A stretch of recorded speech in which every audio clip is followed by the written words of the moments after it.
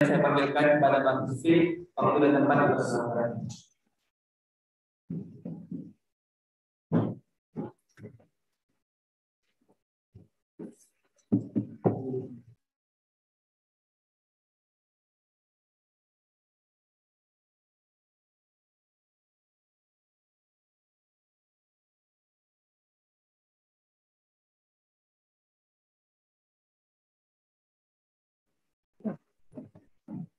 ada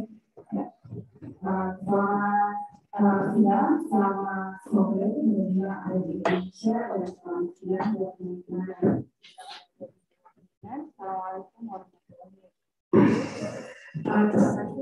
dan.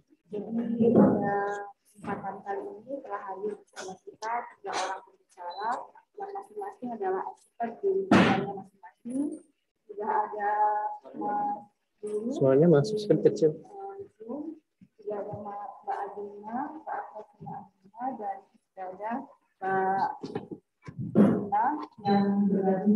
bersama kita. Jadi kesempatan pertama ini akan diberikan kepada. Jadi uh, pada uh, itu lebih ke arah membahas uh, konsep dan implikasi dan aplikasi uh, perikanan pendidikan yang uh, pada saat ini uh, disebut dengan perikanan di Indonesia. Nah, uh, untuk materi pertama, di sini akan kita apa itu konsep competition atau pergerakan-pergerakan kultur di Indonesia, khususnya uh, yang menjadi si uh, kemudian kata pusat itu seperti apa. Kemudian uh, yang juga yang kita ini adalah adanya rencana untuk uh, penerapan PNBP ya. Jadi penerimaan dari macam dan apa aplikasinya nanti untuk uh, pengukuran data, keakuratan data, pengawasan, upaya sampai pengujian mengeluarkan alokasi impor dan seterusnya. Tanpa berpanjang kata, uh, sebelumnya akan saya bacakan terlebih dahulu CV dari beliau. Jadi beliau adalah Mudian Nugroho Satuwaji, saat ini menjabat sebagai Fisheries Researcher di uh, Directorate of Policy Development of Marine and Fisheries di Indonesia. Kemudian sebelumnya beliau juga uh, menjabat sebagai Individual Consultant on Human Fisheries Program di Venture Konservasi Indonesia Program. Kemudian untuk pendidikan, beliau melakukan S1-nya di Universitas Diponegoro Semarang pada bidang Fisheries and Marine Science. Kemudian melanjutkan S2 sama di Universitas Diponegoro Semarang, Indonesia pada bidang Fisheries Management.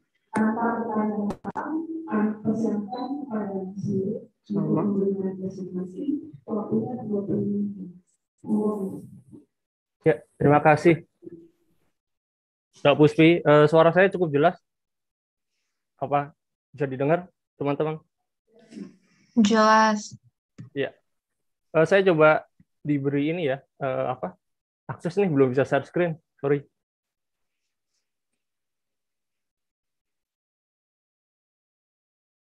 Host, please.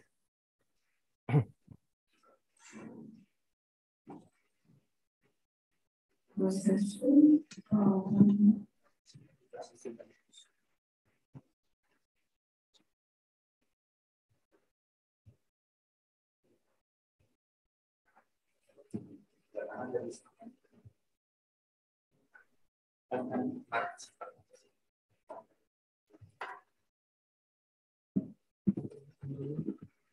soalnya masih disable.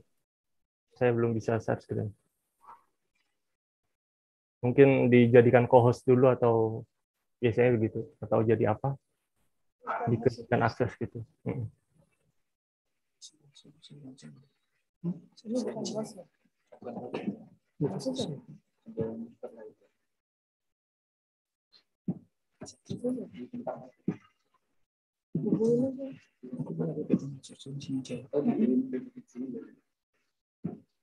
Saya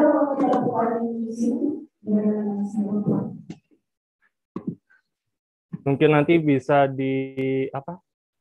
Pak Puspi bisa di biasanya diklik kanan nanti jadikan co-host gitu supaya bisa. Tapi nggak apa-apa kalau teman-teman yang mau share screen juga nggak masalah.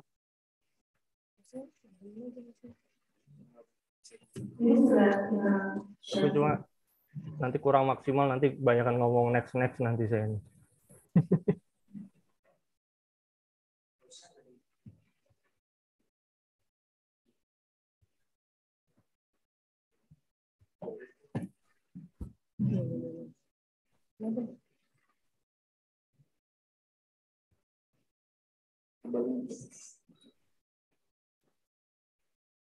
Oke, jadi yang megang presentasi eh, panitia atau bagaimana ini? Bagus sih.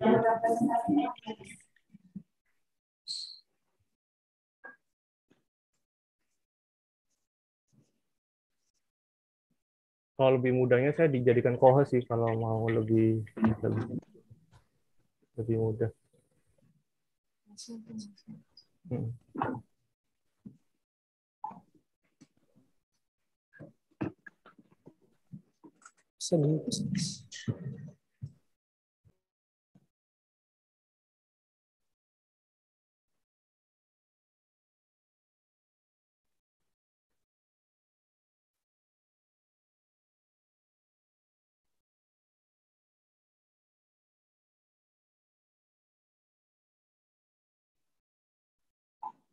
Jadi kalau bisa eh, klik kanan di nama saya, nanti dijadikan co-host biasanya seperti itu.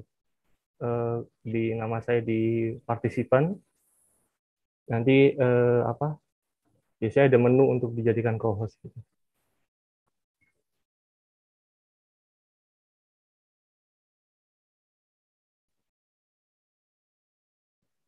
Sudah mas, sudah. Coba ya. Oke. Ah iya, oke. Mantap. Nah. Baik, terima kasih teman-teman. Eh, kelihatan nggak ya share screen saya? Udah kelihatan ya? Eh, selamat pagi, selamat siang semuanya. Eh, selamat sore juga yang di Indonesia. Saya kebetulan di Tegal, di Jawa Tengah. Eh, terima kasih telah diberikan kesempatan untuk berbagi ya mengenai eh, topik yang sangat menarik ya dari panitia mengenai sustainability talk ini yang pertama kali saya diberitahu dan panitia meminta saya memberikan uh, apa materi mengenai konsep sustainable fishery. Uh, tapi saya di sini mungkin lebih banyak berbagi mengenai pengalaman yang sudah dilakukan dan mungkin juga pandangan saya mengenai apa yang terjadi di Indonesia sekarang, khususnya di perikanan ya. Uh, di TOR itu sangat bagus bahwa perikanan itu memang ada aspek eh, apa kebijakan, lalu ada aspek eh, pelaksanaan sampai dengan pengawasan. Eh, dan perkenalkan nama saya Widya Nugroho atau sering dipanggil Wiwit. Saya bekerja di BRIN tadinya di LIPI. Eh, di sini saya akan mulai outline-nya dulu. Eh, singkat saja ada ada empat part. Lalu saya akan eh, mulai dari perikanan berkelanjutan itu adalah buat saya itu adalah sebuah goal ya dan itu sebuah tujuan yang memang tidak tahu kapan akan akan akan tercapai gitu. Eh, tetapi setidaknya ada eh, lima eh, elemen yang selalu dipertimbangkan yaitu mulai dari biologi, dari spesies itu sendiri, lingkungan, ekonomi, sosial, lalu juga kelembagaan. Dan di Indonesia sudah beberapa eh, konsep yang dicoba ya saat ini yang sedang berlaku adalah EAFM.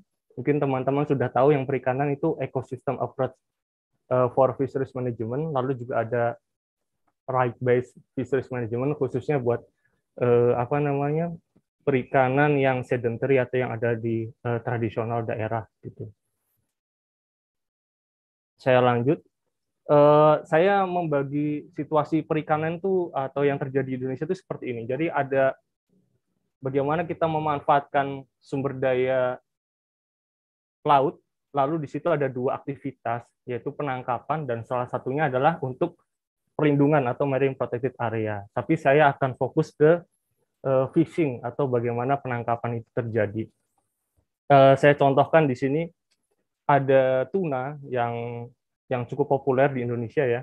Jadi memang uh, di tuna ini termasuk spesies yang komersial, lalu kebijakan yang dilakukan itu ada sekitar uh, ada empat gitu.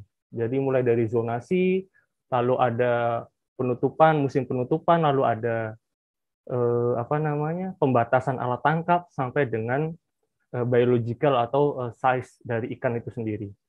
Jadi di sini yang selalu menjadi apa namanya uh, template ya uh, kebijakan dari pemerintah untuk mengendalikan suatu penangkapan. Saya contohkan di sini adalah tuna. Uh, saat ini saya memandang bahwa tuna tuna perikanan tuna di Indonesia itu sudah berada di jalur yang benar, sudah sangat advance, uh, arahnya sudah baik.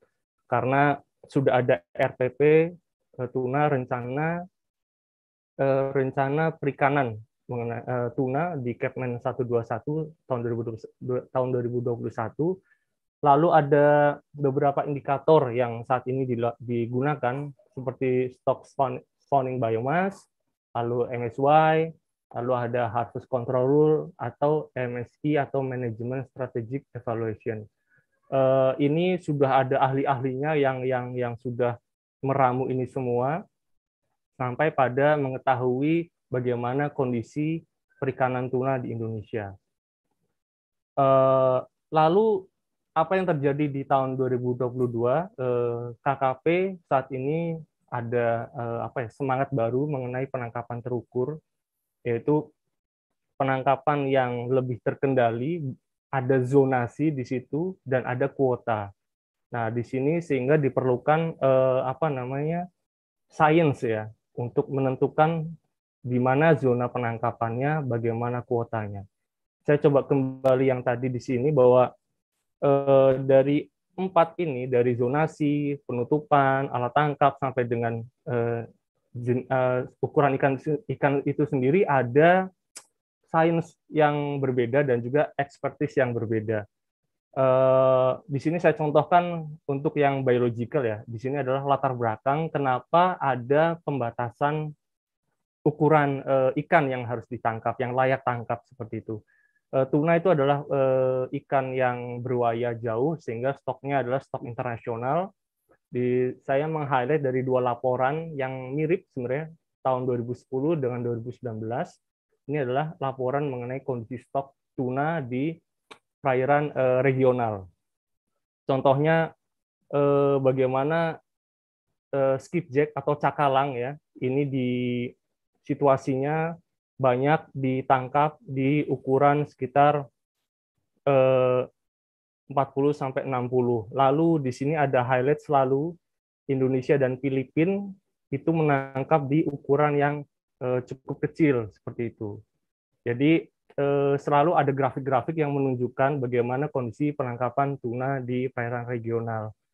Lalu juga, dengan alat tangkapnya ada pull and line, ada pursein gitu kan lalu juga bagaimana kondisi stoknya. Uh, di sini mungkin teman-teman sudah ada yang memahami mengenai bagaimana stok uh, ikan itu uh, kondisinya itu bagaimana, lalu ada rekrutmen, ada pertumbuhan, ada natural mortality ya, ada kematian yang alamiah sama dengan fishing mortality. Mungkin uh, di sini sangat biologis. Uh, lalu di sini intinya adalah uh, kondisi stok yang cukup baik adalah apabila rekrutmennya itu juga eh, baik dibandingkan dengan eh, penangkapannya seperti itu. Jadi ini diberikan eh, saya kasih istilah di sini ada ada rekrutmen, ada spawning biomass. Eh, lalu juga eh, di perikanan tuna itu juga ada mengenai Kobe plot ya untuk mengetahui limited eh, reference point bagaimana kondisi dari suatu perikanan ini ada empat empat eh, kuadran seperti itu, bagaimana kondisi perikanan itu dinilai apakah overfishing, overfish atau masih masih sustain gitu. Eh, lalu bagaimana dengan dengan dengan kondisi dari yellowfin tuna seperti itu? Ini juga hampir sama. Lagi-lagi Indonesia dan Filipina itu di disinyalir gitu, eh, menangkap banyak sekali baby tuna khususnya yellowfin. Eh, di kondisi yellowfin ini juga eh, banyak ikan yang tertangkap, tapi di satu sisi juga penangkapan yang ikan dewasa juga masih berlangsung, sehingga ini selalu menjadi masalah di Indonesia. Salah satunya karena alat tangkap yang uh, kurang ramah atau mungkin alat bantu alat bantu penangkapan yang belum terkendali seperti rumpon. Hampir sama juga uh, bagaimana cara membacanya di sini juga uh, tuna lainnya yaitu big eye atau tuna mata besar. Ini juga hampir sama, lagi-lagi Indonesia dan Filipina uh, selalu disoroti karena menangkap ikan yang ukuran cukup kecil. Uh, selanjutnya setelah tadi uh, latar belakang biologi menjadi uh, ukuran uh, ikan, lalu untuk menuju uh, perikanan yang sustain, ada lagi yaitu kebijakan mengenai penutupan area sementara. Uh, saya contohkan di sini ada di Laut Banda.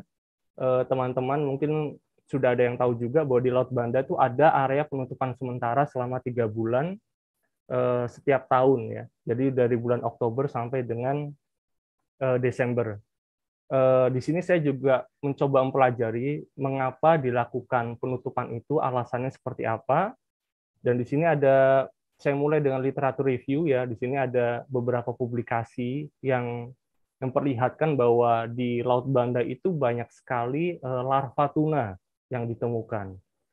Uh, jadi sudah di, diberlakukan melalui Permen KP nomor 4 2015, tapi memang perjalanannya tidak mulus ya karena banyak penolakan termasuk dari Gubernur Maluku sendiri karena penutupannya cukup besar dan dekat dengan area Maluku, Ambon.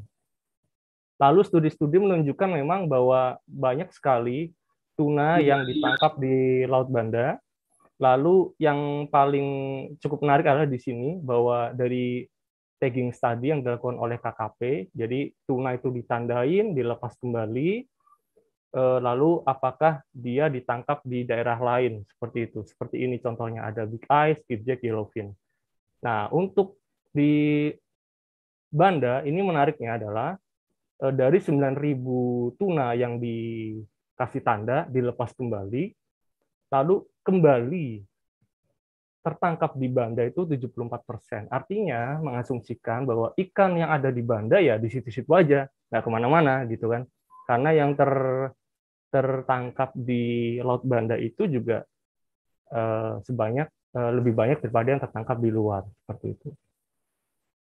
Lalu setelah ada tagging study, lalu ada literatur review, apalagi yaitu mengenai data mengenai larva tuna.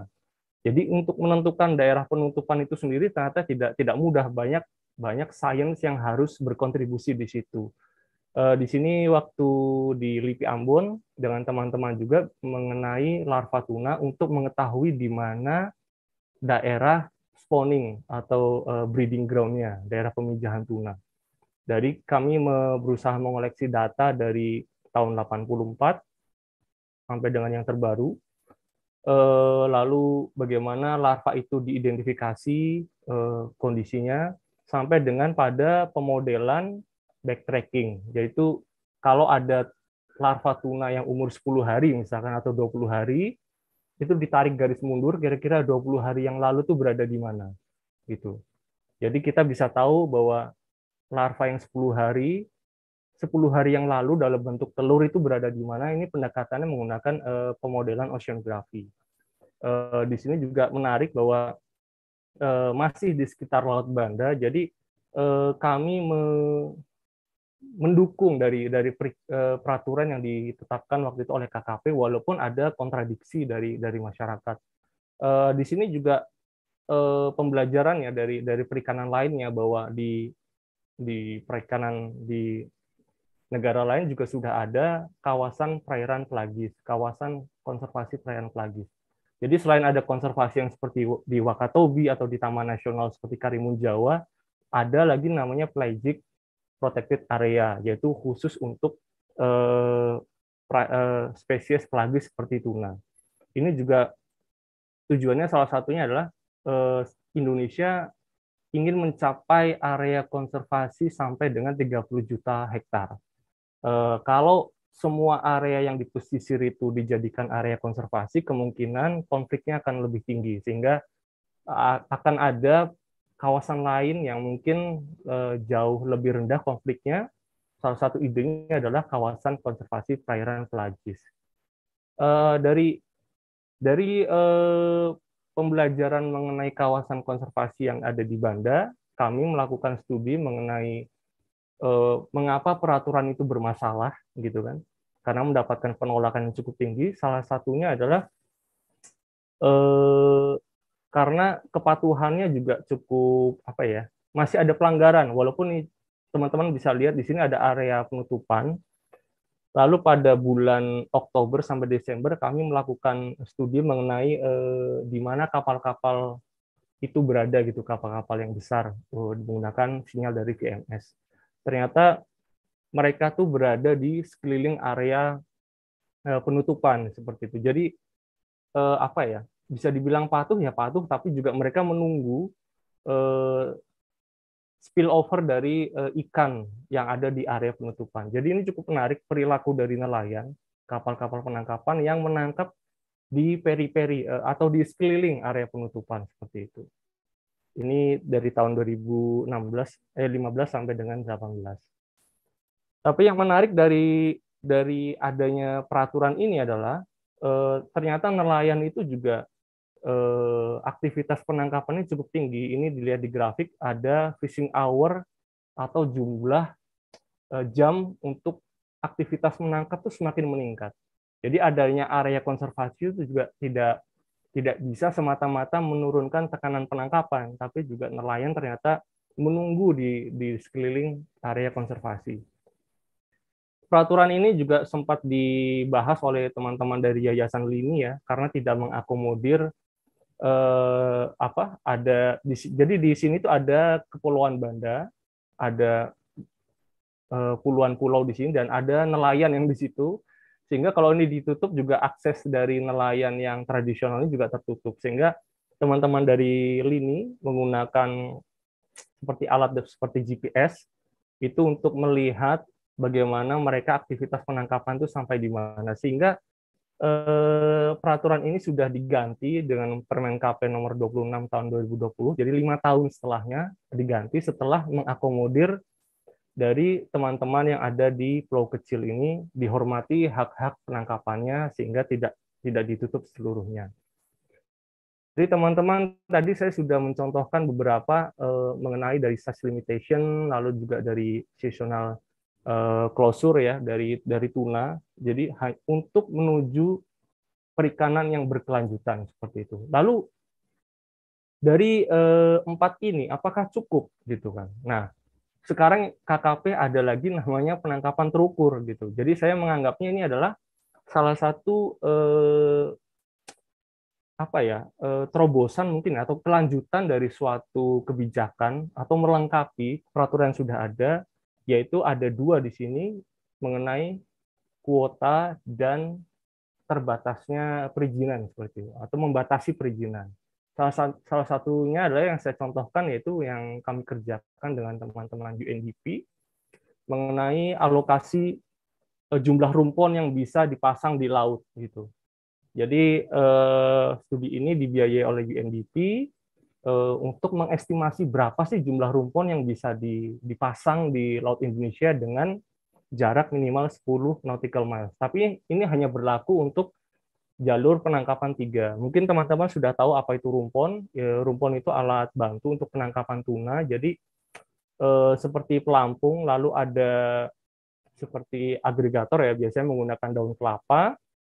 Eh, di sini biasanya nelayan berjaga, lalu ada kapal pursen yang datang dan eh, tuna itu suka berkumpul di sekitar rumpon sehingga memudahkan nelayan lah seperti panen. Jadi tidak lagi hunting tuna tapi harvest tuna karena sudah ada rumpon yang terpasang. Ini harus ditertibkan. Nah, ini adalah semangat KKP untuk menuju eh, penangkapan terukur. Jadi eh, ditanya berapa sih jumlah rumpon yang bisa dipasang di Indonesia? Potensinya ada berapa?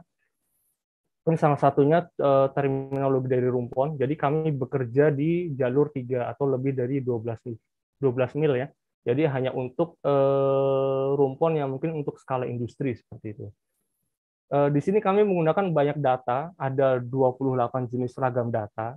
Jadi mengenai eh, kondisi di lautan itu seperti ada apa ya? Saya sebutnya seperti coupling gitu.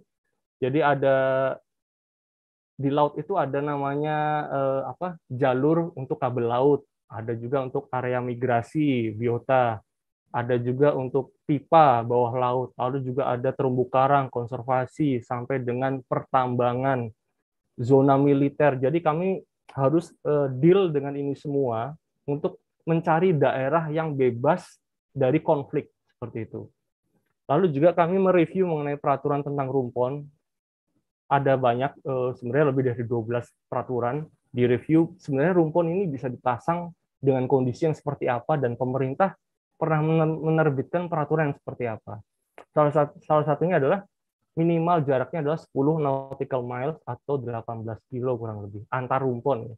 Jadi dari sini kami mencoba memetakan secara spasial eh, mulai dari alur pelayaran tidak boleh ada rumpon di situ, alur pipa, kabel, ada migrasi biota, batas 12 dan eh, 4 dan 12 mil untuk kabupaten dan provinsi, lalu ada konsensi pertambangan, konservasi, eh, batimetri, semuanya sampai dengan gunung dan bukit laut, eh, semuanya di overlay gitu. Jadi untuk menentukan di mana area yang bisa dipasang rumpon.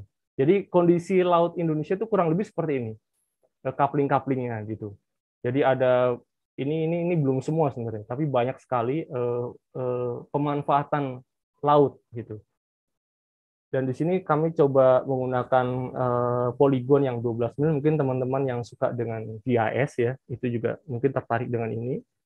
Ini membebaskan area-area yang yang tidak boleh dipasang rumpon. Ini yang yang tersisa seperti itu.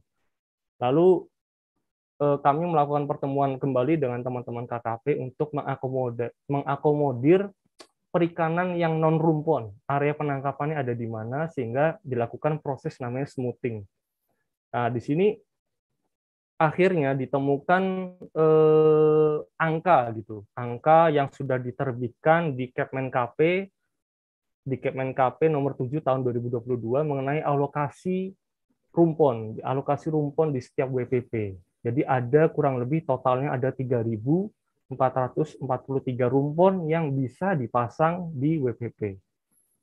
Nah, di sini jadinya teman-teman jadi sudah melihat tadi apa yang sudah terjadi ya mengenai zonasi, ada biological control, lalu ada juga kuota eh, kuota penangkapan. Sorry, maksud saya adalah perizinan untuk rumpon. Di sini banyak sains yang harus berkontribusi di belakang itu. Lalu saya kembali ke sini. Semua yang dilakukan oleh teman-teman mungkin pemerintah ya, KKP dalam hal ini, eh, kasus ini adalah uh, memberikan namanya supply side management. Jadi di, di, di pemanfaatan perika, uh, sumber daya laut juga ada dua dua manajemen yang dikenal. Saya saya dapatkan ini dari kuliah di CSF ya, uh, eh, NGO yang berkonsen pada uh, perekonomian, sosial ekonomi, pemanfaatan dari sumber daya perikanan. Ada namanya supply side management dan demand side management. Di sini supply side management artinya eh, dari input kita menyediakan supply itu harus diatur gitu kan. Jadi ada ada suatu regulasi yang diatur oleh pemerintah untuk mengkondisikan eh, suatu sumber daya agar tidak eh, overfishing seperti itu. Contohnya tadi eh, bisa dilihat ada peraturan mengenai eh, ukuran tangkap, area penangkapan sampai dengan jumlah rumpon tetapi lagi-lagi di sini seolah-olah pemerintah itu mendikte dari dari perilaku nelayan ya. Dan sulit sekali di Indonesia eh, kita tahu banyak sekali pelanggaran eh, sehingga kadang-kadang eh, adanya peraturan itu seperti percuma seperti itu. Jadi banyak sekali pelanggarannya dan sulit untuk dikendalikan seperti itu. Tapi ada juga manajemen yang dinamakan dengan demand set management. Jadi di sini berusaha mengubah dari behavior nelayan, tapi caranya adalah mempengaruhi dari konsumen seperti itu. Contohnya eh, jangan makan ikan yang ukuran kecil seperti itu. Jadi eh, teman-teman mungkin yang concern dengan eco label seperti MSC, ya kan ada Dolphin Safe, ini adalah bekerja di demand set management. Bagaimana mempengaruhi nelayan tidak hanya semata-mata patuh pada peraturan yang mungkin tantangannya juga cukup sulit karena pengawasan di kita juga harus diakui cukup lemah. Tapi ada juga cara lain gitu, namanya demand side management. Jadi nelayan tuh diajak untuk mengubah perilakunya secara tidak langsung. Karena contohnya kita hanya menerima ikan yang ukurannya segini, misalkan rajungan yang karapasnya segini, sehingga yang lain tidak diterima, sehingga nelayan tuh tidak lagi menangkap yang ikan yang kecil-kecil, contohnya seperti itu, atau mengubah alat tangkapnya tidak lagi menggunakan message yang eh, cukup kecil seperti itu. Di sini eh, ekspektasinya adalah dari grafik ini ya, dari supply ini contoh yang terjadi di saat ini yang sedang terjadi di Rajungan ya. Jadi saya harus hati-hati membaca grafiknya. Jadi eh, pada demand yang pertama eh, banyak ikan yang tertangkap, lalu harganya eh, tinggi karena suplainya melimpah gitu. Eh, lalu karena demand-nya juga rendah gitu, sehingga harganya juga rendah gitu. Ini harus hati-hati membaca grafiknya. Memang kadang yang terjadi adalah eh, kebutuhannya tinggi, ikannya nggak ada sehingga harga ikannya meningkat. Tapi di sini yang terjadi biasanya seperti di perikanan rajungan yang sedang saya pelajari juga, eh, harganya jatuh dari 150.000 menjadi 20.000 karena permintaan pasarnya rendah gitu. Jadi, karena tidak lagi menerima eh, rajungan yang ukurannya kecil-kecil. Sehingga nelayan ini cukup stres juga. Sehingga eh, di sini harus diatur ketika ada permintaan tertentu dari pasar yang sustain. Jadi yang kita pengaruhi adalah pasarnya supaya mengubah perilaku dari nelayan. Dan harapannya adalah lagi-lagi adalah perikanan yang berkelanjutan. Artinya stoknya tetap terjaga. Bahkan dengan dengan uh, eh, TAC atau total allowable catch uh, ada kuota di sini pun uh, kalau ada intervensi di demand side management uh, harapannya adalah harga itu tetap tetap tetap terjaga atau minimal nelayan itu tidak terlalu jatuh harganya. Karena ada standarisasi harga yang di, diperlakukan dari pasar seperti itu. Dan kembali lagi ya eh, di sini Eh, teman-teman merefleksikan dari bagaimana penangkapan terukur atau perikanan berkelanjutan. Dari semua tools ini ada berapa nih? Kurang lebih enam ya yang diperlakukan di Indonesia saat ini. Namun jangan lupa ada juga namanya faktor eksternal tadi yang saya sebutkan sebelumnya adalah eh, pengawasan, lalu juga adanya eh, perubahan iklim climate change. Kadang-kadang sains itu tidak tidak bisa mengikuti dari perubahan iklim ya. Seperti contohnya eh, yang saya temukan adalah banyak sekali rajungan yang ditangkap ukurannya kecil-kecil. Tapi juga atau tuna yang ditangkap ukurannya kecil-kecil. Jangan-jangan, jangan-jangan karena adanya perubahan iklim gitu kan, sehingga eh, tingkat kematangan gonatnya juga dari spesies itu juga lebih cepat seperti itu. Ini yang harus di di apa namanya di akomodir ya dari dari sains itu sendiri dan juga tentunya dari uh, penegakan aturan karena seberapa bagus pun peraturan atau sains yang dihasilkan policy itu tidak bisa uh, apa ya tidak bisa berjalan mulus kalau tidak ada penegakan yang dilakukan dengan baik. Uh, kesimpulan dari perikanan berkelanjutan di endless journey atau apa ya menurut saya ini proses yang tidak akan pernah berakhir ya karena selalu ada uh, ruang untuk ber, berkompromi, me, me, apa namanya, melihat isu yang terkini seperti apa, lalu pemerintah bertindak seperti apa, seperti itu. Jadi perikanan berkelanjutan itu membutuhkan integrasi antara sains dengan policy maker. Tidak bisa seperti yang terjadi di Banda itulah policy makernya membuat kebijakan dulu, baru sains menyusul kemudian. Gitu. Jadi harus ada integrasinya. Dan juga mengenai penangkapan terukur ini juga harus hati-hati karena adanya zonasi dan kuota artinya butuh sains yang lebih advance untuk menentukan uh, jumlah stok. Saat ini memang jumlah stok diyakini itu yang sudah yang terbaik dari Komnas Kajiskan. Lalu juga tapi juga harus hati-hati dalam dalam proses penangkapan itu juga eh, apa namanya butuh eh, pengawasan juga gitu Eh, selalu ada yang diuntungkan dan dirugikan. Contohnya eh, di perikanan tuna itu sendiri, setelah ada alokasi jumlah rumpon yang bisa dipasang di setiap WPP, pasti nelayan ini berebut untuk memasang rumpon, sehingga siapa yang bisa memasang, siapa yang tidak, saya nggak ngerti. Nanti tergantung dari peraturannya itu sendiri. Lalu yang keempat, ya saya lagi menegaskan bahwa setiap peraturan itu tanpa tanpa ada pengawasan itu ya kalau bahasa Ambon bilang tuh parlente lah orang bilang tuh percuma gitu. Seperti yang terjadi di eh, Pantura itu juga pembagian jalur alat tangkap itu juga tidak tidak berjalan dengan baik gitu. Termasuk dengan rumpon. Kalau mau teman-teman mungkin tahu jumlah rumpon itu sekarang ada ada banyak sekali ribuan saya nggak nggak tahu persisnya tapi tidak terkontrol seperti itu Lalu faktor eksternal tadi yang saya sebutkan seperti climate change juga harus mulai diperhitungkan karena uh, situasi uh, apa ya perubahan cukup cepat di, di lingkungan laut khususnya oceanografi uh, kadang bisa mengubah mengenai musim penangkapan juga seperti itu. Uh, demikian dari saya. Mohon maaf jika terlalu panjang. Saya kembalikan ke moderator Mbak Pusti. Terima kasih. Assalamualaikum warahmatullahi wabarakatuh.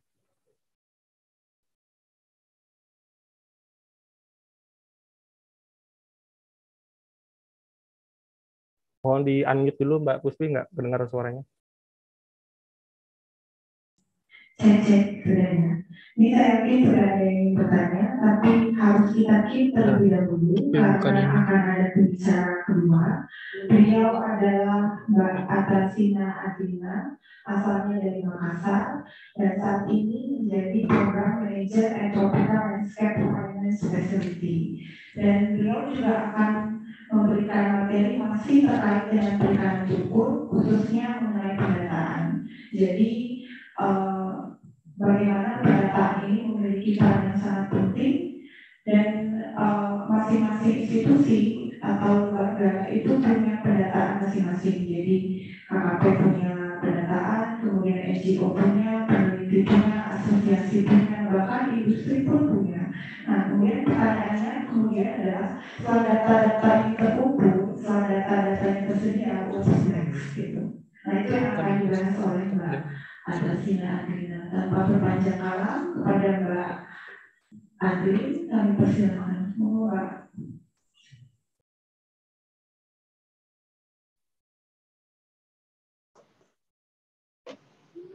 Halo, Assalamualaikum. Suara saya terdengar nggak ya? Dengar, Kak. Dengaran ya? Oke. Okay. Uh, saya share screen. Bisa nggak nih? Oke, okay, bisa.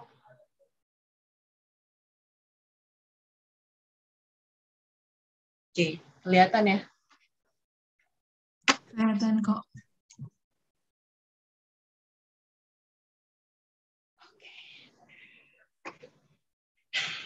Bismillahirrahmanirrahim. Assalamualaikum warahmatullahi wabarakatuh.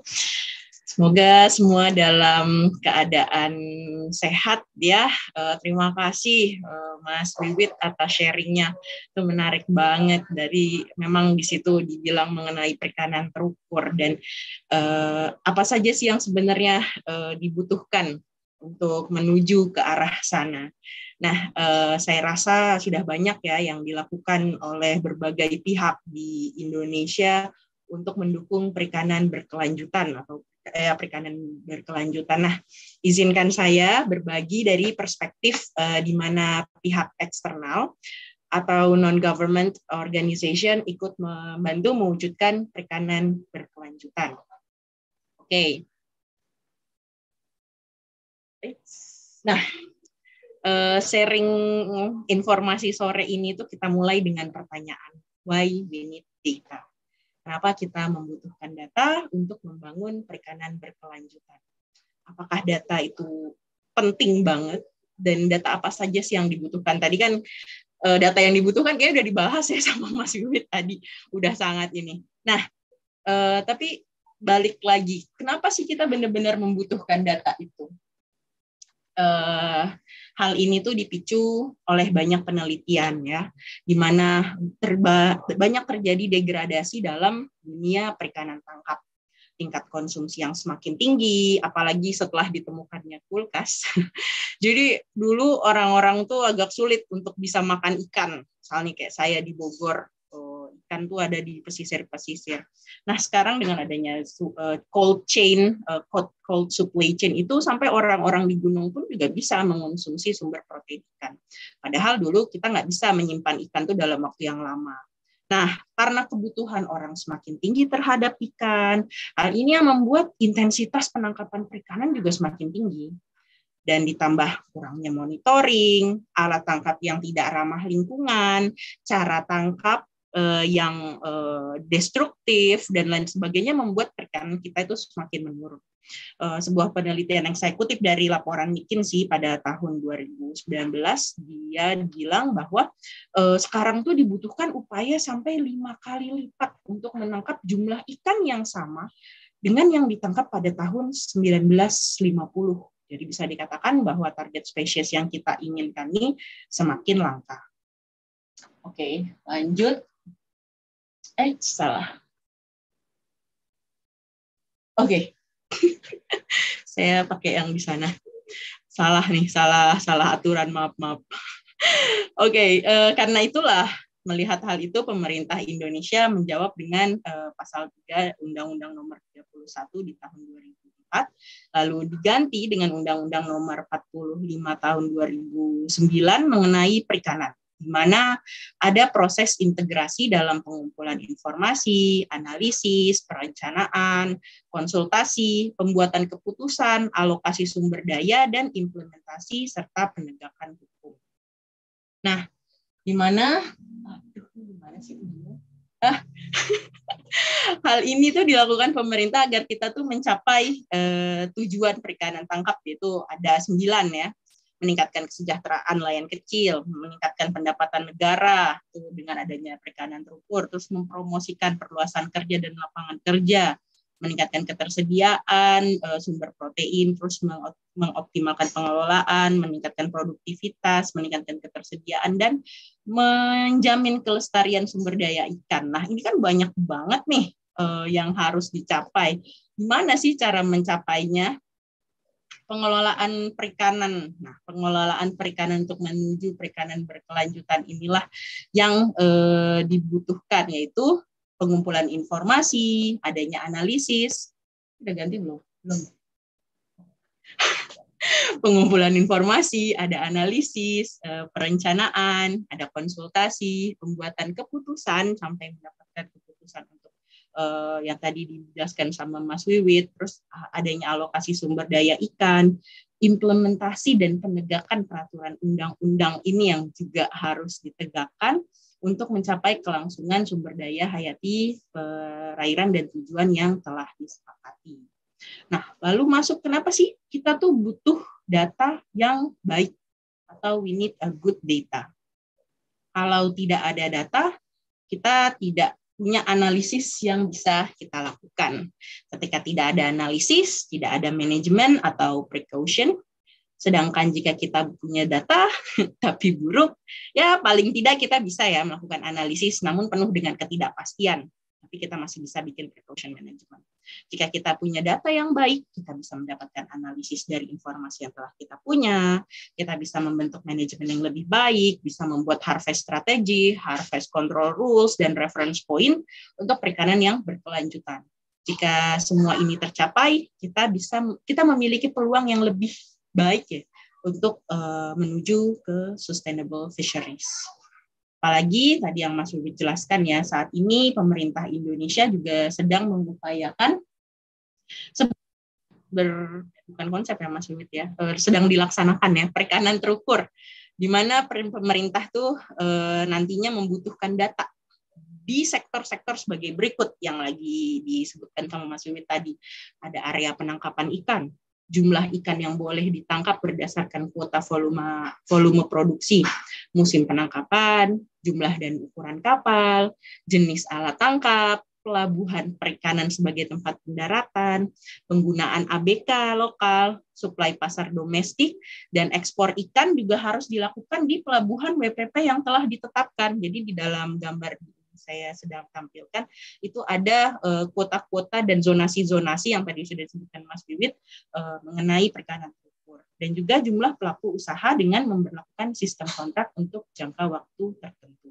Jadi ini data yang harus disediakan nih banyak banget gitu kan. Gimana untuk mendapatkan data ini? Nah, jadi eh, dibutuhkan banyak kerjasama ya dengan berbagai pihak untuk mencapai perikanan terukur Uh, ini untuk logbook. Logbook ini adalah salah satu yang dilakukan oleh pemerintah Indonesia untuk mendapatkan data perikanan. Uh, fungsi NGO sendiri itu kita lebih kepada kegiatan pendampingan logbook kepada nelayan kecil di bawah 10 GT ya. Jadi kalau di atas 10 GT udah bukan disebut small scale lagi. Serta uji coba penerapan e-logbook. Jadi fungsinya uh, eksternal, pihak eksternal itu untuk ikut mendampingi nelayan-nelayan kecil. Di mana saat ini tuh, eh, nah, di mana saat ini tuh udah banyak ya organisasi pemerintah maupun NGO mengambil data perikanan. Misalnya Yayasan Masyarakat dan Perikanan Indonesia kita mengambil data tengah, Lalu ada Yayasan Konservasi Alam mengambil data kakap kerapu, ada RARE Indonesia mengambil data small scale, ada YKL yang bekerja Yayasan Konservasi Laut yang bekerja sama dengan Blue Ventures mengambil data gurita. Ada juga Asosiasi Pengelola uh, Rajungan Indonesia itu dan EDF Environmental Defense Fund. Mereka mengambil data rajungan atau blue swimming crab Sedangkan untuk pihak internal sendiri itu juga banyak ya. Misalnya DJPT SDI mengambil uh, membuat sistem informasi izin layanan cepat, adanya observer, terus ada SIMKADA, ada KUSUKA itu untuk pelaku usaha, SIMKADA itu untuk informasi kapal di daerah, CPP itu untuk pelabuhan. Nah, selama mengambil uh, mengambil data di lapangan, NGO tuh punya beberapa jenis ya, jenis atau tipe pengambilan data. Misalnya eh, yang dilakukan eh, oleh MDPI, pendataannya itu dilakukan eh, apa? Sorry sorry, yang dilakukan oleh Yekan. Eh, pendataan itu dilakukan secara mandiri oleh nelayan. Jadi Yekan eh, itu bekerja sama dengan 44 nelayan di berbagai 400 nelayan di berbagai daerah untuk membayar mereka apa membayar yang mereka itu nanti akan masukin datanya kalau yang MDPI itu melakukan pendataan dengan enumerator. Nah, selain itu perbedaannya lagi adalah nelayan dibayar eh, ketika mereka melakukan pengambilan data eh, dan ada juga enumerator. Jadi menggunakan enumerator yang dibayar setiap bulannya. Dan verifikasi ini bisa menggunakan resi penjualan di mana nanti setiap kali nelayan menjual ikan kepada eh, pengepulnya nanti kita cek uh, resi penjualannya apakah sudah sesuai dengan data yang dimasukkan oleh nelayan atau ya berdasarkan catatan enumerator yang selalu turun setiap hari ketika nelayan memiliki uh, hasil tangkapan. Nah, posisi NGO itu Nah, selama uh, saya bekerja di NGO, kita, kita uh, saya melihat posisi NGO ini uh, lumayan uh, bagus ya. Kita itu bisa ikut mendukung data perikanan dalam itu membantu pemerintah dalam memberikan data yang baik. Tapi ya uh, permasalahan yang terjadi saat ini adalah kita memiliki format pendataan yang berbeda-beda antara satu sama yang lain. Yang paling kecil deh, paling mudahnya itu data tanggal ada yang tanggal duluan, ada yang bulan duluan gitu. Nah, salah satu yang sudah pernah kita rumuskan sama-sama eh, itu kita tuh pengennya eh, ada format yang sama. Jadi format yang sama ini bisa digunakan karena ada format yang sama, datanya ini juga bisa digunakan secara bersama-sama. Selain itu eh, adanya kode etik antar lembaga. Jadi ketika misalnya udah sama-sama mempublikasikan data, harus ada kode etik yang bisa disepakati antara pemerintah atau sesama NGO yang paling rame itu soal data adalah mengenai data sharing dan data security. Walaupun sebenarnya negara menjamin ya ke apa namanya eh, data ada di undang-undang nomor saya lupa undang-undangnya. Jadi memang ada ada kerahasiaan data. Nah, tapi ya ini yang harus dibicarakan juga karena di zaman sekarang data security dan data sharing itu uh, menjadi hal yang concern bersama. Nah, yang bisa juga didorong uh, untuk NGO bisa sama-sama memiliki format yang sama itu adalah donor driven, di mana lembaga-lembaga donor tiap NGO itu menyebutkan minimum requirement dalam pengambilan data. Misalnya pemerintah butuhnya ini nih, ini, ini, ini, ini.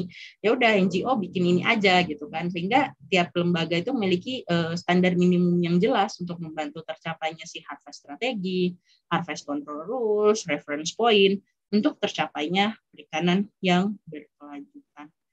Itu sih dari saya kalau dari sisi NGO. Mungkin eh, tadi karena udah banyak banget yang dibahas sama Mas Wiwit dan itu hampir semua tuh ya ya sama-sama lah data juga. Gimana Mas Wiwit? Oke, mungkin itu dari saya. Terima kasih.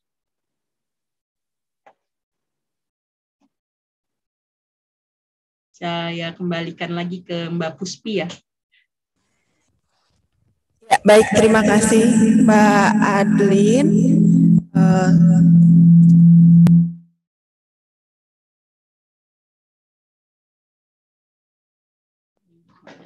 Ini laptop saya emang agak agak. Cek cek.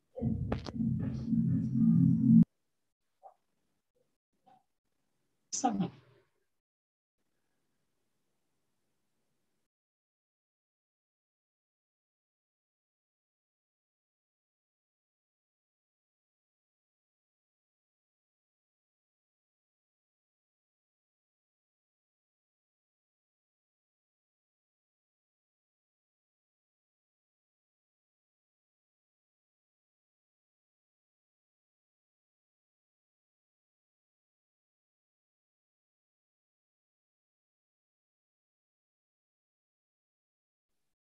Puspi nggak kedengeran suaranya. Cek, cek. Cek. Oke.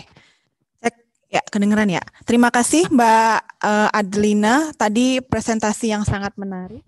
Dan uh, kita masih punya pembicara ketiga. Jadi pembicara ketiga ini adalah beliau uh, saat ini sedang uh, sedang mengerjakan ya dan hampir selesai PhD-nya di Wageningen University. Uh, saya sedikit bacakan pendidikan beliau. Beliau menamatkan S1-nya di Universitas Brawijaya Malang. Uh, bidangnya adalah budidaya perairan, kemudian melanjutkan ke Institut Pertanian Bogor untuk program master di bidang ilmu aquaculture. Kemudian, uh, oh, dan itu adalah program kerjasama dengan Hen University di Belgium untuk bidang yang sama, aquaculture, dan kemudian saat ini beliau sedang cek cek.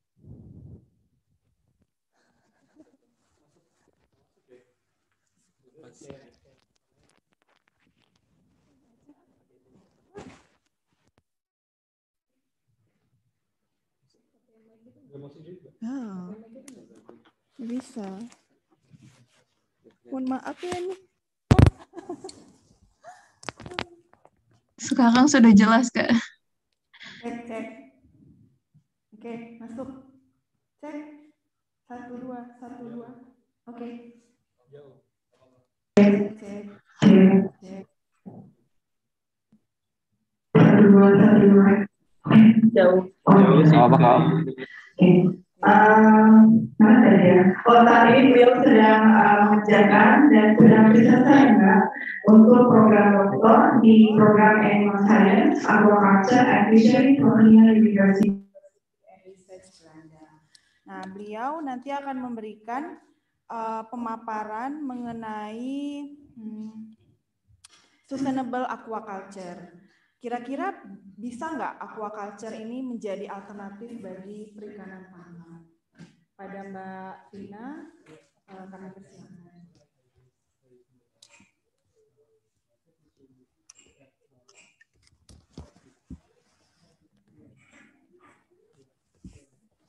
Uh, Assalamualaikum warahmatullahi wabarakatuh. Suara saya terdengar jelas? Benar? Jelas. Oke. Okay. Cuman yang di sini jadi nggak ada speakernya ya, nggak apa-apa ya, kedengeran nggak? Atau pakai mic double, gimana? Nggak apa-apa, oke. Okay. Uh, eh, oke, okay, saya mulai, oh share screen sebentar. Yang itu ngadep ke sini kali, nggak bisa.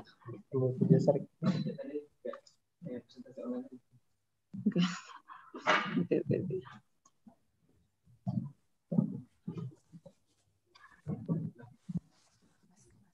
Itu digeser dikit ngadepinnya.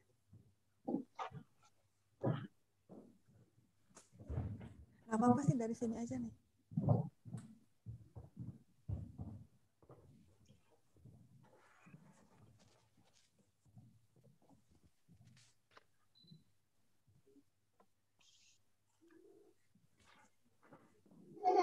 Oke. Eh, yang kalau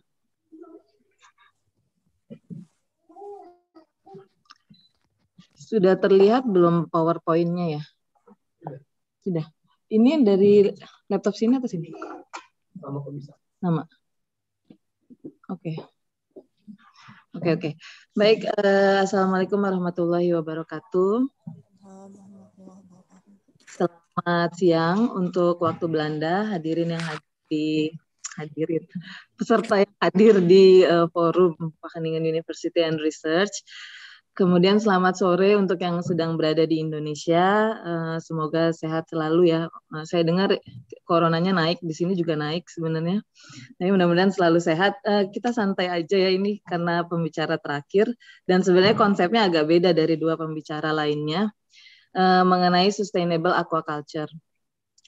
Untuk uh, hubungannya dengan sustainable fishery seperti yang tadi sudah dikemukakan oleh moderator Mbak Puspi bahwa pertanyaannya adalah apakah aquaculture ini adalah sebuah solusi untuk uh, perikanan gitu ataukah uh, kita bisa berjalan seiringan atau harus menggantikan secara penuh gitu.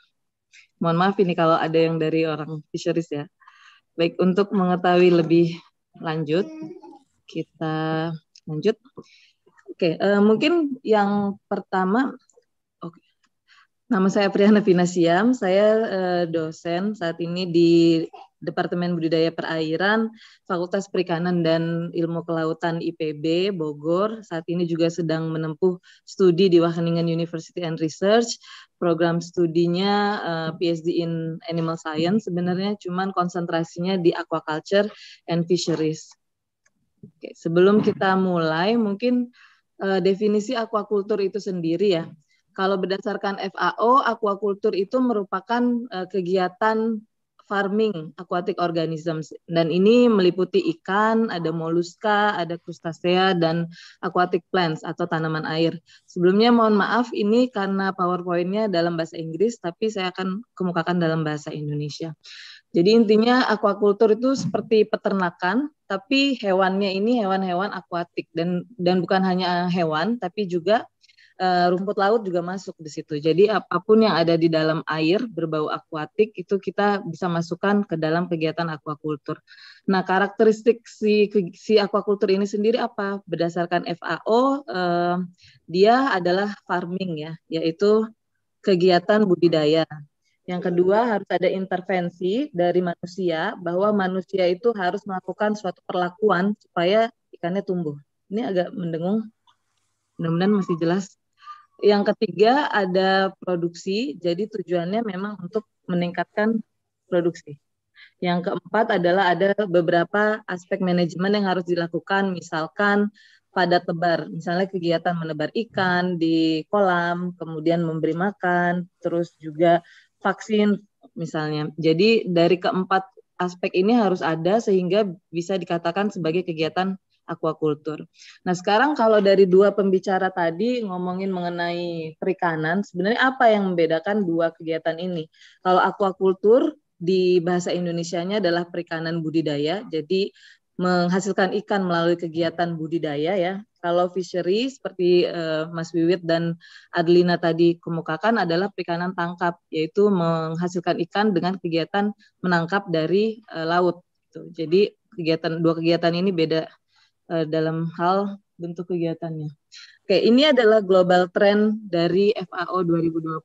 Kita bisa melihat bahwa tren dari capture, capture ini adalah perikanan uh, atau perikanan tangkap ya uh, stabil dari tahun ke tahun saya kurang paham. Mungkin bisa dari produktivitas perairannya sudah semakin rendah sehingga jumlah produksinya akan semakin rendah atau juga ada extinctions atau uh, kelangkaan ikan yang ada di laut sehingga menurun produksinya.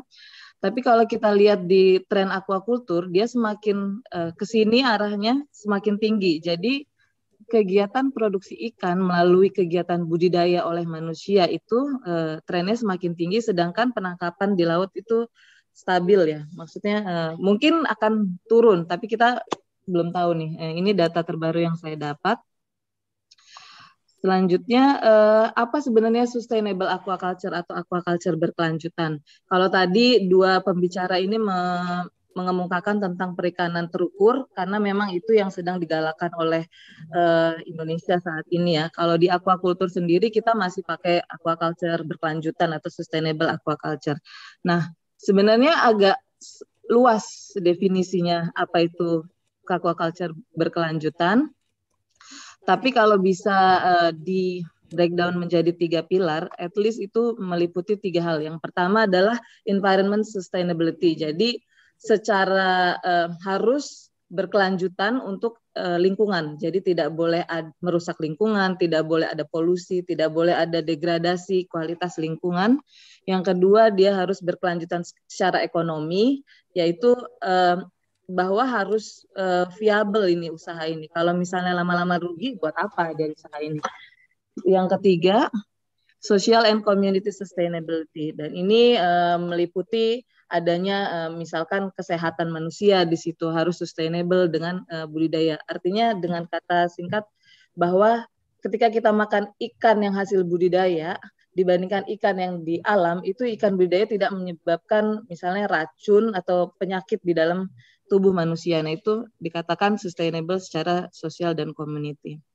Nah, tentu saja uh, apa pun kegiatannya selalu ada kritisisme ya, harus ada kritik, ada uh, yang harus diperbaiki gitu. Nah, kalau mudah-mudahan terlihat di sini uh, ada beberapa hal ini dari perikanan uh, budidaya yang di laut ya. Kita lihat ini ada net jaring di dalam laut, ditaruh jaring, mengapung, ditaruh ikan di dalamnya sehingga ikan tuh masih merasa ini tuh habitat dia, jadi dia bisa tumbuh. Nah, ini disebut keramba jaring apung. Nah, di keramba jaring apung sendiri ini banyak sekali kritik. Ini nggak dengung ya? Di saya dengung nggak ya? Oke. Okay. Uh, jadi misalkan ini kalau kita lihat dari point of view environment ya. Jadi di sini dikritik e, mengenai penggunaan herbisida untuk misalnya parasit, kemudian penggunaan drug seperti antibiotik, terus juga di sini kita lihat ada sedimentasi di bagian bawah ya. E, dari sisa-sisa pakan dan feses atau kotoran ikan yang dipelihara di atasnya sehingga e, orang lingkungan berkata bahwa oke okay, aquaculture itu sebenarnya malah merusak instead of e, uh, memelihara laut gitu. Kemudian ada juga uh, yang lain, problemnya akan saya kemukakan selanjutnya. Tapi yang dapat kita lakukan atau kita tawarkan adalah uh, pendekatannya melalui pembangunan beberapa uh, berbagai sistem yang mengarah pada sustainable aquaculture. Masalah lain dari aquaculture adalah fish in fish out index.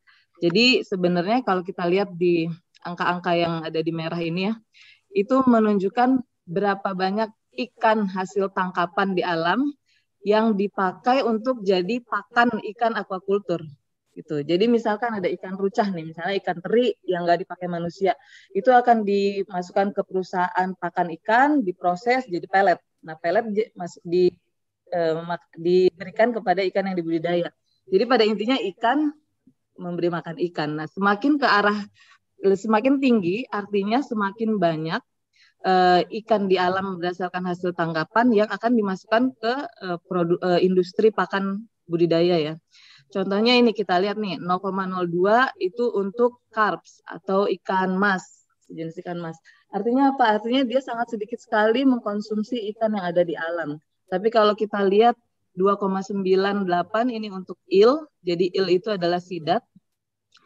Artinya dibutuhkan 2,98 kg ikan uh, li, liar ya atau ikan yang berdasarkan hasil fishery untuk memberi makan satu kilogram ikan budidaya untuk menghasilkan satu kilogram kita butuh hampir tiga kilo ikan.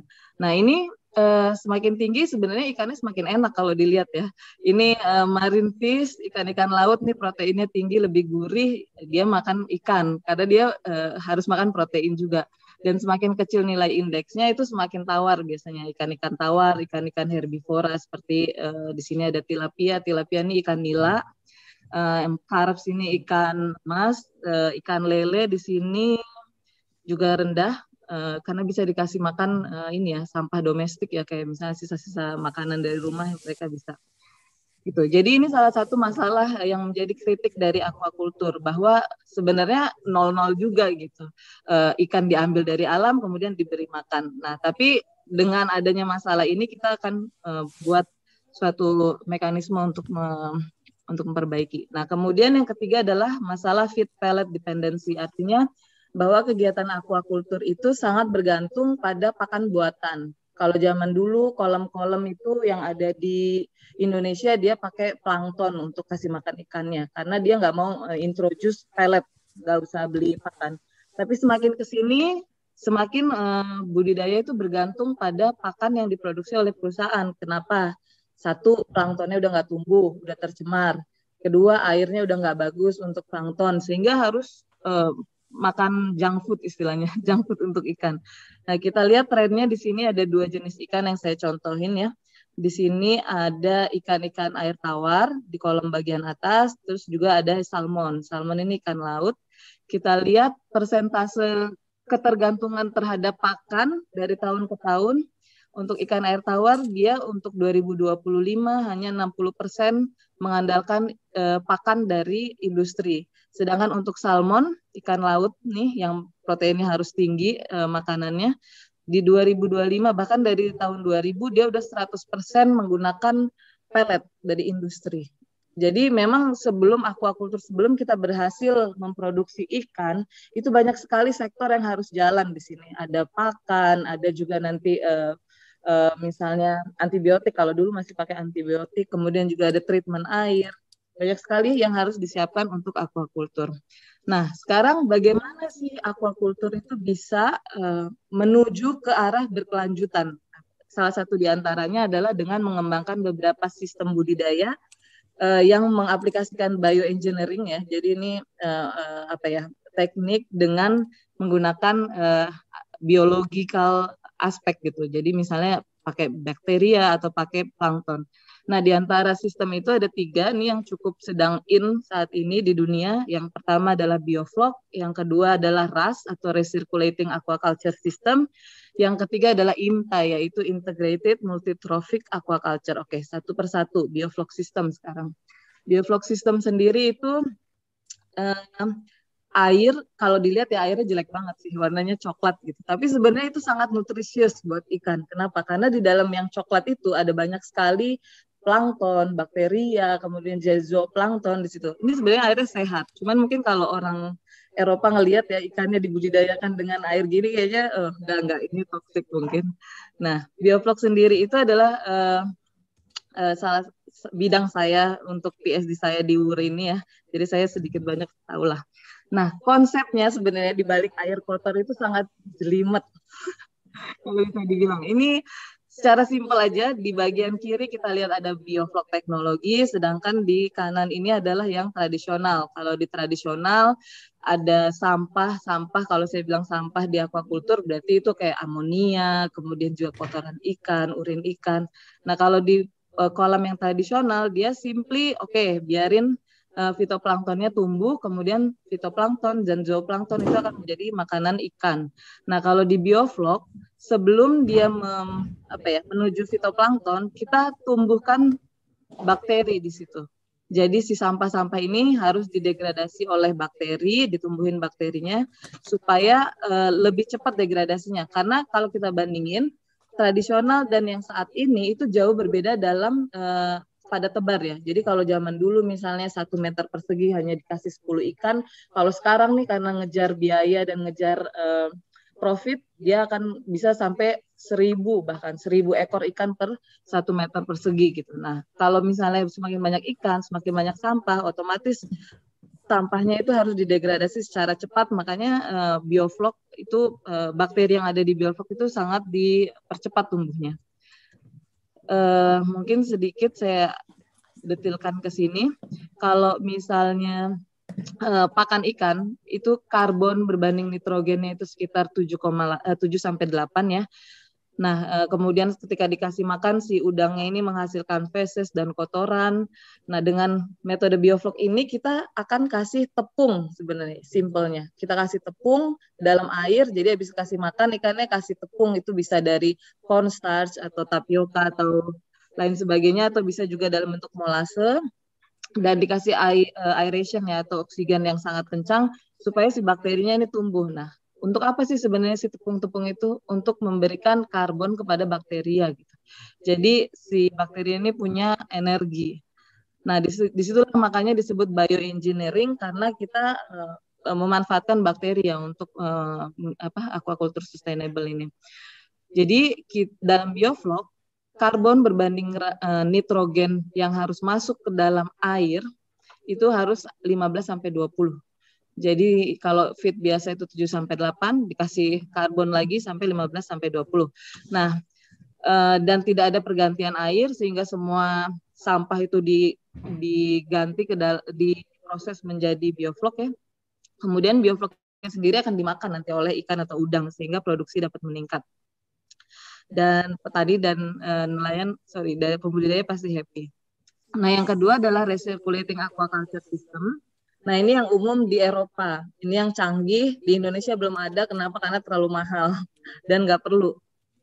Dan e, karena Indonesia itu temperaturnya cukup stabil setiap tahun, jadi dia nggak perlu indoor, outdoor aja cukup. Kalau misalnya di Eropa karena dia punya empat musim, agak susah kalau misalnya mau produksi tiap tahun. Makanya dia akan indoor. Nah, indoornya ini mereka kembangkan recirculating aquaculture system dan ini full listrik ya. Jadi kalau dilihat ini oksigen dari listrik, kemudian di uh, airnya dibersihkan pakai listrik, temperatur atau suhu itu dikontrol pakai listrik, semuanya listrik. Bahkan ke uh, temperatur yang ada di udara, bukan hanya di air itu diatur juga gitu. Jadi ini benar-benar full listrik dan bagusnya Eropa itu stabil listriknya nggak kayak di Indonesia. Kalau di Indonesia mungkin uh, satu hari atau dua jam aja mati nih listrik. Itu satu kolom bisa mati semua sih karena nggak ada oksigen masuk kalau pakai sistem ini. Agak rumit ya. Tapi pada intinya kalau recirculating aquaculture system itu adalah eh, sampahnya si atau buangannya si ikan itu akan di, disaring, kemudian yang padatnya akan dibuang, tapi airnya itu akan diresirkulasi. Caranya sama, dia akan numbuhin eh, bakteri di sini, cuman bakterinya beda, bakteri nitrifikasi, nanti amonia, nitrat, nitrit akan dirubah, diserap, akhirnya airnya akan clean lagi gitu. Tapi bedanya kita harus uh, siapin air banyak di sini karena uh, yang padat seperti feses itu dia buang. Jadi dia cleaning air tapi tidak mengcleaning feses. Kalau tadi bioflok itu feses semua itu akan dirubah gitu. Itu bedanya. Uh, ini tadi yang saya jelaskan. Kemudian yang ketiga adalah Integrated Multi-Trophic Aquaculture System atau IMTA. Ini agak beda. Kenapa? Karena dia karena kita akan mengkultur atau membudidayakan berbagai jenis spesies yang beda di tingkat multitrofik ya, beda trofik levelnya. Dan uh, prinsipnya gini, sampah atau feses dari suatu organisme itu adalah makanan bagi organisme lain. Jadi yang dilakukan adalah mengkultur berbagai jenis. Misalnya ada ikan karnivor, terus juga ada ikan herbivor di, di dibudidayakan dalam tempat yang sama melalui dipisahkan melalui net ya misalnya atau bisa jadi ceburin sama-sama dua jenis ikan berbeda atau juga dengan membagi-bagi petakan eh, petakan kolam jadi air itu tetap dialirkan tapi petakannya berbeda. Nah, prinsipnya ikan akan menghasilkan sampah, kemudian sampah akan di eh, diurai ya oleh detritus. Kemudian ada jenis-jenis organisme yang dapat memanfaatkan sampah nih misalnya kayak di sini si urchin ya apa ya tripang tripang gitu. Kemudian eh, rumput laut biasanya juga dipakai jadi biasanya ada banyak sekali jenis organisme. Yang satu ngasilin feses yang satu nyerap amonianya yang satu makan uh, zooplanktonnya yang satu makan uh, fitoplanktonnya gitu. Jadi banyak sekali. Ada alga di sini ada si urchin ada juga ikan ada kerang-kerangan karena dia nyerap kemudian uh, ya uh, fitoplankton dan zooplankton juga di, uh, ditumbuhkan. Jadi intinya tidak ada sampah yang terbuang gitu dengan dengan beberapa banyak uh, jenis spesies. Contohnya ini, ini ikan. Ketika ikan keluar nih, fesesnya ke sini akan dimanfaatkan oleh hewan-hewan yang ada di dalam di bottom ya atau di bawah. Kemudian nanti akan diserap juga oleh beberapa alga. Di sini juga ada rumput laut. Jadi benar-benar semua nutrien akan dimanfaatkan untuk berbeda spesies yang berbeda-beda. Nah, sekarang bagaimana sebenarnya aquaculture di Indonesia? Ini saya ngambil data dari KKP ya, yang terbaru di tahun 2020. Kita lihat perika, uh, budidaya perikanan di Indonesia itu masih didominasi oleh spesies air tawar, 69 persen. Untuk air laut, seperti tadi uh, Adlina dan Mas Wiwit kemukakan, kebanyakan spesiesnya laut ya, penangkapan itu nggak ada, jarang yang uh, spesies air tawar. Nah, itu kita masih sangat sedikit sekali di Indonesia. Kemudian air payau, payau ini uh, antara laut dan tawar. Nah, biasanya kayak udang, ikan bandeng gitu. Uh, di situ dimasukkan atau dikategorikan payau itu juga masih sangat kecil. Jadi memang dominasi budidaya ini di ikan air tawar yang ada di daratan bukan di laut. Nah, ini uh, data dari KKP saya lihat bahwa uh, untuk budidaya air laut masih di uh, masih paling banyak dihasilkan oleh Sulawesi ya Kemudian kalau untuk payau juga Sulawesi dan untuk tawar kebanyakan di Jawa. Nah ini uh, mungkin terkait dengan kontur wilayah uh, banyak atau tidaknya perairan uh, laut misalnya yang bisa digunakan untuk budidaya atau juga dengan culture masyarakat. Misalkan uh, di Sulawesi itu orang kebanyakan tidak akan makan uh, jarang makan ikan air tawar gitu. Kalau misalnya di Jawa mungkin sangat populer jadi banyak dibudidayakan di. Jadi memang banyak sekali faktor yang mempengaruhi sampai akhirnya berbeda-beda nih uh, produksinya antar wilayah. Nah, beberapa limitation dari atau keterbatasan dari kegiatan budidaya aquaculture adalah satu teknik. Jadi belum semua ikan yang disukai masyarakat itu diketahui cara budidayanya. Yang kedua resource tentu saja kayak air, kemudian juga tempat, uh, environmentnya juga mendukung atau tidak. Kemudian kalau faktor lain ada dari harga, dari market demand, ada juga current policy. Dan uh, untuk budidaya perikanan sendiri yang saya dengar uh, belum banyak bank yang mau memberikan uh, bantuan modal ya untuk usaha ini. Sekarang kembali ke pertanyaan, apakah aquaculture ini dapat mereplace fishery? Saya uh, akan menjawabnya berdasarkan data. Ini yang saya lihat dari FAO, trennya bahwa uh, untuk fishery ini semua fishery. Nah, yang berwarna oranye ini adalah marine atau dari air laut dia sangat tinggi sekali sedangkan kalau yang inland atau yang di tower atau di darat ya dia itu rendah dibandingkan yang laut. Jadi untuk menjawab pertanyaan ini mungkin kalau untuk eh, ikan-ikan yang ada di air tawar di daratan kita bisa mereplace atau bisa jauh menggantungkan produksi pakai aquaculture tapi kalau ikan laut terutama di Indonesia karena belum banyak teknik dan juga uh, apa ya spesies yang bisa dibudidaya jadi uh, mungkin belum bisa secara maksimal untuk menjadi solusi untuk fisheries. Terima kasih uh, saya ucapkan kepada seluruh uh, panitia dan penyelenggara. Di sini ada PCINU Belanda, PPI Wageningen, Nufik Neso, IPB University, dan juga Wageningen University. Saya kembalikan ke moderator. Silakan Mbak.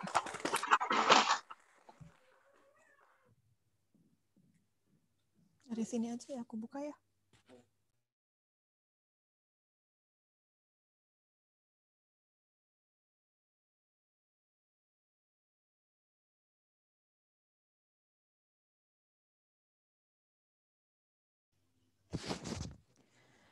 Baik, cek-cek.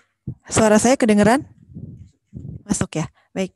Uh, terima kasih Mbak Vina atas presentasinya. Tadi pemaparan yang uh, sangat menarik melengkapi uh, dua pembicara yang sebelumnya karena dua pembicara sebelumnya khusus membahas mengenai perikanan tangkap, maka Mbak Vina melengkapi dengan membahas mengenai perikanan budidaya.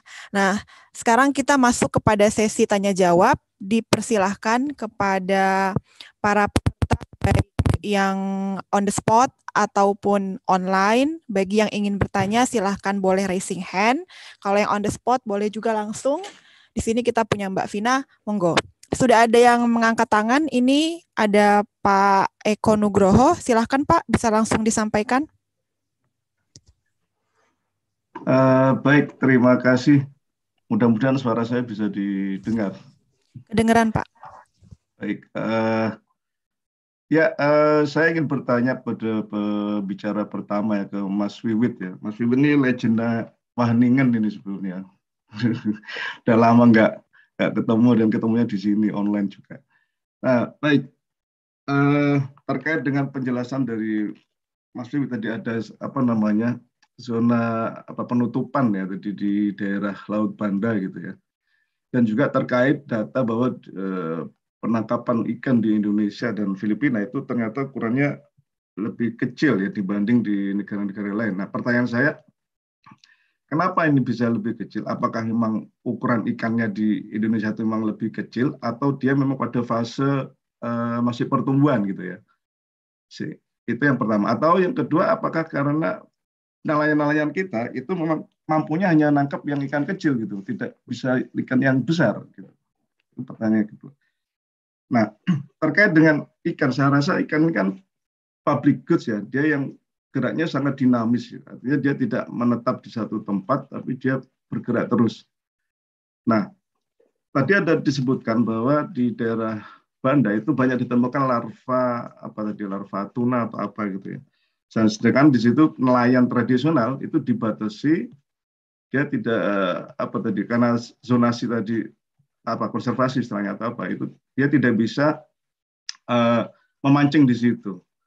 Nah sehingga saya melihat ini kan sebenarnya uh, public goods yang kalau menurut teorinya Herdin itu tragedy of the commons itu kan jadi kalau bukan saya yang mancing ini nanti orang lain yang akan mancing sehingga mau tidak mau mereka terpaksa ada over overfishing di situ ya. Nah apakah ini yang menyebabkan uh, apa namanya ukuran ikan yang ditangkap di Indonesia itu itu eh, kecil-kecil uh, gitu ya. Sehingga jangan-jangan nanti ketika di Banda itu dia masih kecil, ketika gede dia lari ke Australia atau ke Madura gitu. Sehingga nelayan di Madura atau Australia yang diuntungkan gitu. Nah, itu yang yang yang saya bagi saya orang awam jadi pertanyaan di situ. Oke, terima kasih Pak. Baik, terima kasih Pak Eko. Monggo Mas Wiwit bisa langsung ditanggapi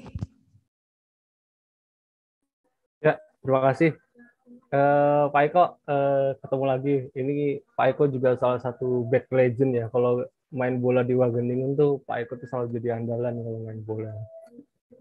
Tadi pertanyaannya bagus Pak. Uh, memang selalu ada pertanyaan kenapa sih tuna di Indonesia atau Filipina ditangkapnya selalu lebih kecil gitu. Memang ada waktu itu saya sebutnya itu seperti video propaganda ya dari dari WWF lah saya bilang gitu. Karena eh, negara kita tuh ada namanya Coral Triangle Center ya City eh, jadi dianggap segitiga karang dunia tempat bertelur ikan.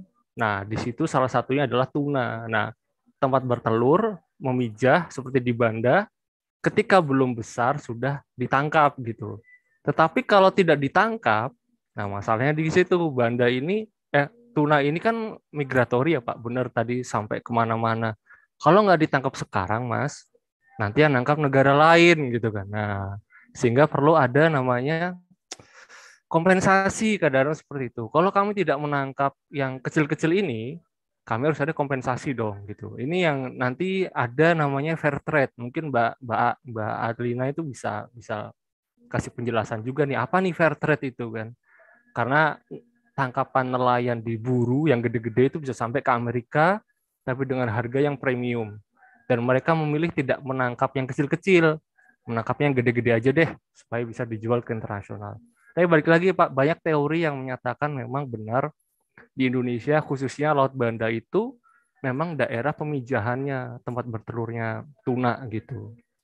Nah, yang tadi peraturan penutupan itu benar Pak. Eh, Permen KP nomor 4 2015 itu sempat diprotes karena menutupnya tuh benar-benar menutup sekalian laut, eh, kepulauan bandanya. Di situ sebenarnya ada nelayan, lalu juga eh, yang paling penting waktu itu banyak sekali perusahaan-perusahaan ikan di Ambon atau di seperti di Kendari eh, itu juga punya apa ya namanya UP ya unit eh, unit pengolahan ikan gitu di di di Banda, tetapi tidak bisa mentransfer ikan yang ada di Banda ke Ambon selama musim penutupan. Nah, ini yang yang yang diprotes oleh gubernur sehingga direvisi lah Permen KP itu. Uh, memang benar Pak. Jadi uh, sempat ada konflik tapi akhirnya bisa diredam karena sudah dikemukakan mengenai hak-hak dari nelayan tradisional yang ada di Banda. Uh, alat tangkapnya juga mungkin lebih ramah lingkungan sehingga diakui Pak area yang dari laut Banda, uh, ke pulau itu sampai dengan 12 mil itu boleh menangkap gitu seperti itu. Bahkan yang peraturan itu juga menyebutkan e, nelayan yang tradisional kalau nggak salah di bawah 5 5 gross tonnage itu masih boleh menangkap walaupun selama e, musim penutupan seperti itu. Bentar gitu ya Pak Eko ya. Hmm, mungkin yang ya. lain nanti. Terima kasih. Ditunggu di Waningan ini. Siap. Oke, uh, clear ya, Pak Eko ya? Atau ada pertanyaan lanjutan? Ya, clear, clear. Clear. Oke. Okay. Uh, kemudian tadi menarik ya, karena Mas Wiwit sempat menjelaskan mengenai ukuran ikan dan uh, fair trade. Mungkin sebelum saya lempar kepada penanya berikutnya, ini ingin saya lemparkan kepada Mbak Adlina, karena uh, beliau uh, sebelumnya pernah bekerja di MDPI dan lebih uh, pantas mungkin menjelaskan mengenai fair trade dan hubungannya dengan ukuran ikan yang tadi uh, disebutkan oleh Mas Wiwit. Monggo Mbak. Halo Pak Eko, apa kabar? uh, soal fair trade, uh, jadi dulu saya di tahun 2014 itu bareng sama MDPI kita berusaha untuk uh, me accomplish dengan compliance yang sesuai dengan fair trade di USA. Jadi fair trade itu kan dulu e, banyak kan di kopi ya. Nah ini MDPI itu bikin untuk fair trade itu di produk perikanan. Tapi e, fair trade itu kan bisa diartikan sebagai e, perdagangan yang adil. Gimana sih e, yang dimaksud dengan perdagangan yang adil? E, selama ini kan si ikan yang nggak uh, ditahu, nggak nggak kita, kita tidak mengetahui dari mana asal usul ikannya. Nah, dengan adanya fair trade ini mengedepankan sistem traceability atau ketertelusuran, sama yang disebutkan oleh Pak tadi. Jadi uh, nelayan itu diminta untuk selalu uh, melaporkan hasil tangkapan mereka. Oh ya, makasih ya. Maaf maaf, aduh. Jadi uh, apa namanya uh, nelayan itu dia diminta untuk uh, accomplish dengan uh, yang di, dibilang yang diminta oleh uh, pihak konsumen. Jadi ini market drive ya, market driven, di mana um, mulai dari uh, kelayakan kapal, kelayakan ikan, terus kelayakan kelayakan uh, pokoknya mulai dari nelayannya juga bagus gitu supaya apa namanya nelayan ini memiliki uh, kehidupan yang lebih baik. Jadi mereka berharap dengan adanya standar pengukuran ikan yang diambil besar-besar saja itu bisa terus uh, sustain atau sustainable ikan uh, tuna di laut tersebut. Itu sih, Mbak. Oke, terima kasih, Mbak. Uh, ini tadi sekaligus juga memberikan penjelasan kepada Pak Eko. Berarti clear ya, Pak? Ini selanjutnya ada gimana Pak? Iya iya terima kasih. Oke. Okay, Eh, mungkin satu Mbak di, itu kalau tuna itu bisa dibudidaya nggak ya? Ini orang awam nanya ini. Kayak, mungkin ke Mbak Vina ini pertanyaannya. Oke okay, Mbak. Kan Mbak Vina nih. Monggo Mbak. Uh, masuk ya. Uh, iya Pak, halo Pak tuna bisa dibudidaya Pak, cuman kalau untuk di Indonesia sekarang masih tahapnya riset mungkin ya, mungkin sudah ada yang diproduksi, cuman uh, belum menghasilkan untuk komersil gitu, jadi masih tahap uh, riset. Uh, kemudian kalau misalnya untuk, jadi kan budidaya sendiri itu ada beberapa tahap ya, ada pem, uh, reproduksinya, menghasilkan larva, ada membesarkan larvanya, kemudian ada membesarkan dari larva sampai ukuran konsumsi. Nah, kayaknya sih yang lebih berkembang ini baru di tahap mendekati ujungnya, Pak. Jadi mendekati ukuran konsumsi atau pembesaran. Kalau untuk reproduksinya masih sangat susah, Pak. Kalau untuk uh, marine spesies itu masih challenging lah, masih menantang untuk di Indonesia. Gitu, Pak. bisa Bapak mungkin kalau ke Bali main ke Balai Riset Gondol. Nah, di situ salah satu pusatnya tuna di Indonesia untuk budidaya. Begitu Pak Eko, Mbak Puspi. Ya, ya terima kasih. Saya pengennya tuna pepes saja deh. Mau lah Pak bagi-bagi. Baik, eh, kita sekarang ada penanya kedua, Mbak Talita. Eh, silahkan Mbak, bisa langsung ditanyakan kepada pembicara. Oh, ada di sini. Ya, halo, bisa dengar? Ya. Terima kasih atas kesempatan yang diberikan pada saya. Saya ingin bertanya ke Mas Wiwit dan Mbak Apriana. Tapi untuk Mas Wiwit dulu, pertanyaannya ada dua. Yang pertama, eh, sejauh mana sih regulasi kajian atau strategi penangkapan ikan tuna di Indonesia sejalan atau beririsan dengan regulasi yang diterapkan oleh WCPFO. Karena kan tuna itu spesies yang migrasinya tidak mengenal wilayah yuridik, jurisdiksi, jadi ke mana pun dia pergi ya nggak peduli negara mana. Itu yang pertanyaan yang kedua, eh, sejauh mana regulasi rumpon di Indonesia itu diterapkan dan apakah rumpon itu termasuk strategi penangkapan yang sustainable kalau di Indonesia ya? Karena setahu saya kalau di PNA rumpon atau FAD itu sudah dilarang karena menimbulkan banyak bycatch. Jadi itu yang kedua. Terus pertanyaan buat Mbak Apriana, apakah dalam penilaian uh, risk aquaculture sustainability itu memperhitungkan FCR, food conversion ratio? Terima kasih. Baik, terima kasih. Uh, mungkin kesempatan yang pertama kepada Mas Wiwit, silahkan menanggapi. Terima kasih. Uh, jadi pertanyaannya regulasinya yang sudah diterapkan apakah sudah comply dengan RFMO? Ya, uh, saya katakan iya. Jadi salah satunya Indonesia itu diminta oleh RFMO ya karena jadi ada organisasi perikanan regional yang mengatur stok dari tuna Indonesia masuk ke dalam anggotanya harus apa ya memberikan assessment uh, apa istilahnya gimana ya? Uh, saya ditanya gitu, lu lu punya rumpon berapa nih gitu loh. Itu harus harus harus jelas gitu. Karena itu salah satu syarat dari uh, kepatuhan terhadap organisasi internasional perikanan tuna.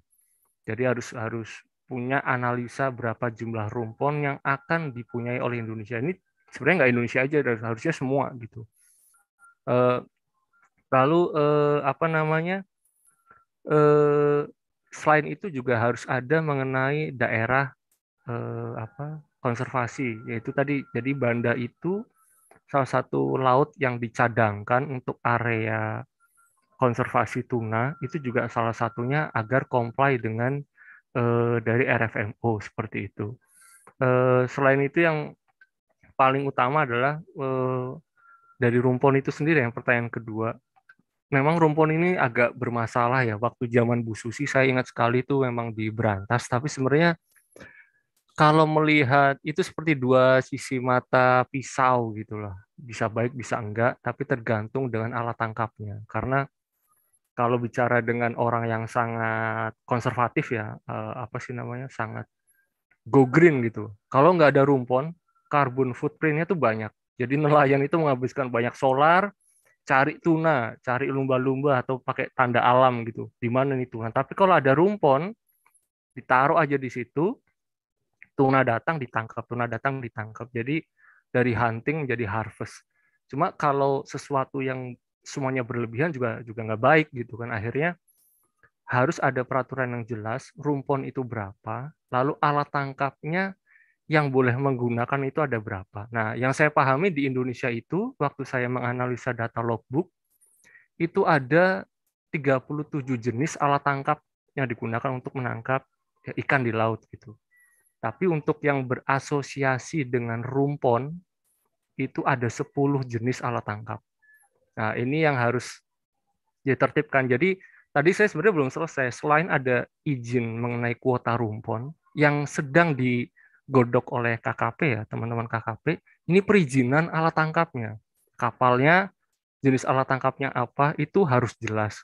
Karena lagi-lagi kalau dengan jargon perikanan terukur, artinya segala sesuatu sudah diperhitungkan dengan baik. Ini ini yang menjadi challenge uh, dari KKP ya, yang, yang menjadi percontohan ini di WPP 715 sama 718. Uh, perkembangannya saya saya kurang tahu persis ya, tapi intinya sudah ada sudah ada uji coba gitu. Berapa jumlah uh, rumpon, pursen, semuanya alat tangkap itu diperhitungkan nanti uh, apa hasilnya dilihat gitu, penangkapannya gimana gitu. Kurang lebih seperti itu. Mas Talita Salsabila ya. Terima kasih. Atau Mbak Baik. ini? Akunnya bingung deh. Akun sama yang nanya beda orang. Masih ada, Mas? Silahkan. Ada yang mau ditanggapi? Cukup. Oke, untuk pertanyaan selanjutnya pada Mbak Vina dipersilahkan. Baik, terima kasih Mbak Puspi. Ini yang nanya ada di belakang saya. Saya ngadep mana ini? Ngadep sini aja ya. Kelihatan di screen. Talita, yang saya tahu Talita sih perempuan ini, tapi yang muncul laki-laki. Oke, pertanyaan tadi mengenai FCR ya. Kalau di aquaculture FC, FCR itu food conversion ratio yang artinya berapa banyak eh, pakan yang dibutuhkan untuk menghasilkan satu kilogram ikan. Jadi kalau misalnya dua, misalnya, berarti kita butuh dua kilo pakan untuk memproduksi satu kilogram ikan. Nah, pertanyaannya apakah FCR itu menjadi salah satu penentu eh, sustainable atau tidaknya kegiatan aquaculture? Eh, saya kembalikan lagi ke tiga pilar tadi bahwa kalau mau sustainable harus sustainable secara ekonomi dan juga environment dan juga sosial ya tadi. Nah, kalau FCR itu sebenarnya lebih ke arah ekonomi dan lingkungan sih. Kalau misalnya FCR-nya terlalu tinggi, otomatis si pembudidaya ini akan rugi karena dia harus banyak pakan, eh, memberikan banyak pakan yang mahal ya. Jadi pakan itu kalau di aquaculture 70% dari total biaya. Jadi semakin banyak pakan, semakin harus jualnya mahal gitu, profitnya semakin kecil. Nah, itu eh, bisa membuat si usaha ini tidak sustainable nantinya kalau FCR-nya terlalu tinggi. Nah, yang diharapkan apa? Harap yang diharapkan adalah FCR-nya nanti rendah gitu. Kemudian dari yang kedua harus diketahui juga nih kenapa sih pakan itu banyak banget gitu butuhnya. Kenapa nggak bisa satu kilogram pakan menghasilkan satu kilogram ikan? Gitu. Nah itu kan banyak faktornya. Apakah misalnya si pembudidaya ini nggak tahu cara ngasih pakan, tidak tepat waktu pemberian pakannya, atau pakannya tidak disukain misalnya oleh ikan.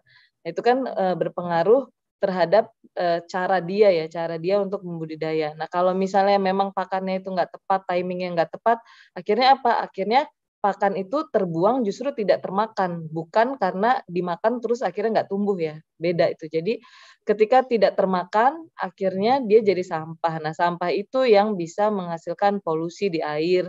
Nah kalau misalnya terlalu banyak sampah, otomatis itu dari pilar yang environmental sustainability tadi itu tidak tidak masuk. Jadi FGR tuh kalau menurut saya berhubungannya sama yang dua tadi ekonomi ke profitability dari perusahaan, yang kedua ke banyaknya waste atau pollution atau ya eh, apa ya ya zat-zat sampah yang dihasilkan oleh budaya tadi. Semoga menjawab ya, Talita. Gimana, Mbak Talita? Ada pertanyaan uh, lanjutan? Ya, ada. Uh, apakah setiap spesies ikan yang di, di budidaya itu dengan jenis pakan tertentu itu pakannya bisa dimodifikasi sedemikian rupa agar menurunkan FCR-nya dan uh, sejauh ini jenis ikan apa dengan FCR yang paling rendah jadi apa yang paling menguntungkan kalau di budidaya di Indonesia terutama. Oke, okay. uh, sebenarnya itu trennya akan sama dengan yang tadi saya uh, kemukakan fish in fish out ya. Karena itu tadi bedanya kan uh, jumlah ikan yang masuk sama uh, kalau sekarang kita ngomongnya adalah pakan yang masuk untuk menghasilkan satu kilogram ikan. Beberapa ikan memang uh, terutama yang herbivore ya, yang herbivore itu dia FCR-nya bisa kurang dari satu. Nah itu kan kalau secara logika itu agak aneh ya. Kenapa bisa misalnya kita kasih makan 500 gram, tapi kita bisa dapetin 2 kilo gitu. Dari mana mereka makan apa? Makan air atau apa di dalam gitu kan. Nah eh, cara menekan FCR itu bisa dengan permainan formulasi pakan. Jadi pakannya itu bisa dibuat seefisien mungkin. Dan juga yang kedua adalah memanfaatkan natural biota yang ada di air. Jadi si sampah kayak tadi metode bioflok misalnya si sampah yang eh, enggak misalnya pakan yang tidak termakan kemudian dimakan bakteri bakteri bisa menumbuhkan plankton plankton dimakan lagi oleh ikan jadi otomatis si ikan ini dapat tambahan pakan bukan eh, tambahan makanan bukan hanya dari pakan. Nah itu kenapa FCR itu bisa kurang dari satu gitu karena dia memakan makanan lainnya. Kemudian bisa juga dari daun-daun yang ada di uh, yang ada di kolam ya itu juga bisa jadi makanan alternatif sehingga dia bisa tumbuh tanpa harus ketergantungan oleh pakan uh, pelet. Nah, tadi kalau pertanyaannya apakah bisa dimodifikasi pakannya bisa itulah yang mendanai sebagian banyak PSD di AFI dalam jurusan aquaculture gitu. Jadi perusahaan-perusahaan pakan ini sampai sekarang di mana pun di dunia uh, dia akan riset gitu. Pakan mana ini kira-kira yang bisa Eh, lebih lebih efektif gitu. Maksudnya lebih efisien dalam hal uh, memacu pertumbuhan ikan. Jadi biasanya perusahaan-perusahaan itu dia punya riset development sendiri, dia coba formulasi pakan yang paling bagus tiap jadi ada banyak lah ada misalnya mainin dari sumber uh, sumber ingredientsnya ya misalnya uh, proteinnya dari dari tanaman atau dari fish meal misalnya gitu atau juga uh, si mikromineral. Jadi kayak misalnya mineralnya dimainin atau misalnya fit aditif kayak misalnya apakah ada aroma-aroma tertentu yang bikin ikan tuh lahap makan gitu. Padahal dia sebenarnya nggak suka sama makanan itu.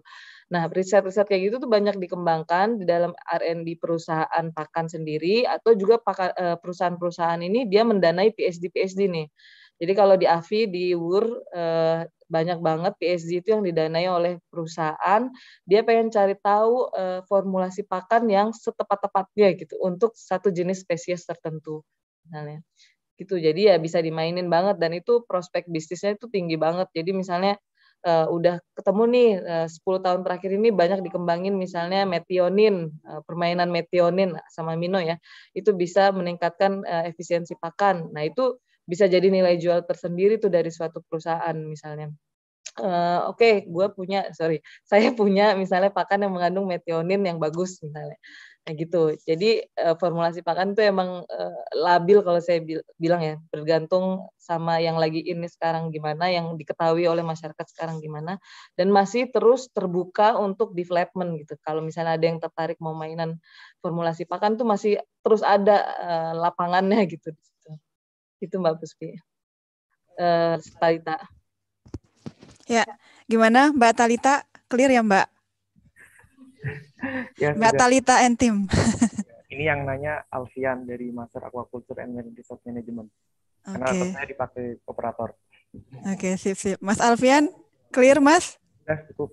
Sudah cukup ya. Baik, ini saya lihat tidak ada yang angkat tangan lagi dari partisipan di Zoom. Kemudian uh, mungkin ini sedikit ya pertanyaan terakhir untuk Mbak Adelina. Ini sebenarnya saya ingin bertanya. Uh, tadi kan disebutkan uh, salah satu masalahnya itu terkait dengan uh, sinergitas pendataan antar lembaga ya Mbak. Mungkin bisa sedikit diceritakan bagaimana sih progres mensinergikan antar lembaga untuk pendataan ini sendiri. Terima kasih Mbak jadi untuk NGO sendiri itu sebenarnya kita udah diajak bareng ya, duduk bareng sama KKP pada tahun 2020 oleh DJPT. Eh, kita di, diajak masuk di dalam program namanya Emitra SDI. Emitra SDI ini tuh untuk masuknya duduk bareng mengenai data-data eh, apa yang bisa dikasih dari NGO ini, apa yang bisa dikasih dari NGO ini, tapi berhenti di 2020 itu.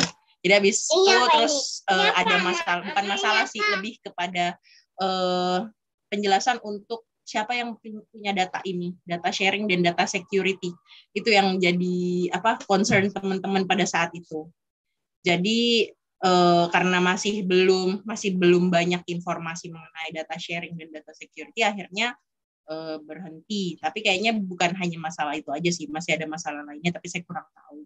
Nah saat ini sekarang uh, eh, KKP khususnya uh, di JPT sedang membuat protokol data mengenai data-data-data yang sudah diambil oleh NGO maupun data internal sendiri dari KKP. Nanti data protokolnya ini masih dalam perencanaan sih mudah-mudahan bisa lanjut karena kalau udah banyak datanya terus datanya eh, nggak kepake itu yang sayang kan. Jadi ya mudah-mudahan ini ke depannya bisa sih jadi ada emitra lagi emitra lagi kakak itu sih mbak. Baik, terima kasih Mbak. Ini sebenarnya kalau dibolehkan ini mau lanjut terus, tapi apa daya waktu juga yang membatasi ya. Ini panitia udah bisik-bisik. Terus di Indonesia juga ini udah maghrib, jadi uh, sampai sekian diskusi pada uh, siang hari ini waktu Belanda dan sore hari ini waktu Indonesia. Mudah-mudahan uh, diskusi yang tadi itu sangat bermanfaat uh, bukan hanya oleh audiens di sini, tapi juga uh, oleh para peserta di Indonesia. Uh, terima kasih kepada Mas Wiwit, uh, Mbak Adelina, kemudian Mbak Vina. Terima kasih telah berbagi materi yang sangat menarik untuk kita semua. Mudah-mudahan muncul inspirasi-inspirasi baru. Di sini banyak di belakang uh, banyak mahasiswa master, mungkin muncul inspirasi baru dari uh, diskusi pada siang hari ini.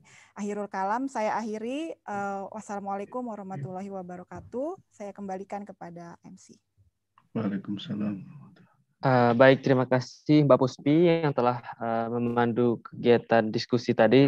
Uh, sangat menarik ya, banyak sekali insight-insight yang baru yang bisa kita telaah dan juga menjadi follow up action yang uh, bisa kita lanjutkan diskusi di sesi selanjutnya seperti itu. Uh, baiklah, uh, sebelumnya uh, mungkin kita bisa foto bareng nih uh, kepada seluruh peserta yang baik melalui Zoom maupun yang hadir di sini bisa on cam. Nanti uh, akan dibantu oleh Mazaki ya untuk uh, di screenshot fotonya. Oke. Nah, baru sudah terlihat wajah-wajah dari Saantero Indonesia dan juga yang ada di offline saat ini. Oke, satu, dua, tiga.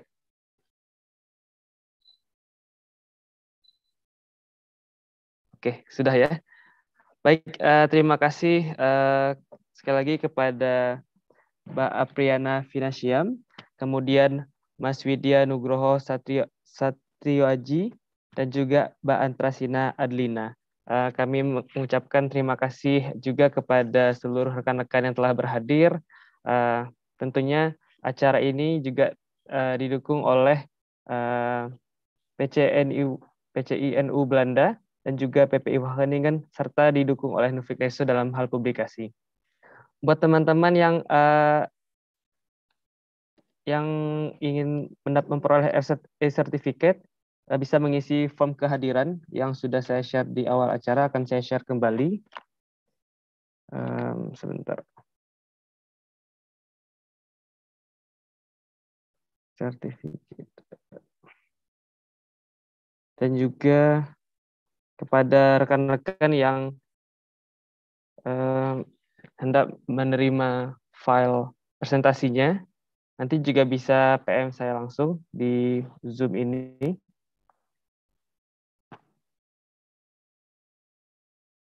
Baik, uh, link link kehadiran telah saya share uh, di grup chat.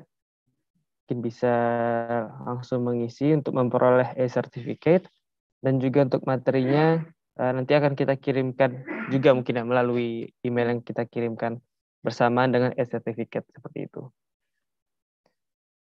Baiklah, um, jika tidak ada pertanyaan lagi, saya akan akhiri. Uh, terima terima kasih. Assalamualaikum warahmatullahi wabarakatuh.